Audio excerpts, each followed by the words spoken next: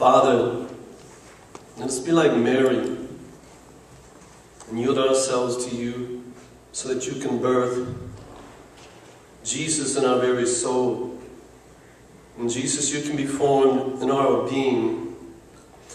And let us be like Mary and let us be like Hannah as you birth in us this new light.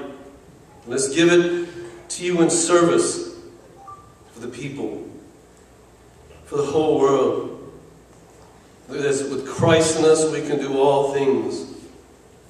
So, Father God, we trust in you to birth in us new life, to change this whole world. You are the God of all power and strength, we just thank you. Let us trust you, kneel to you to do, that you may be glorified and honored in Jesus' name.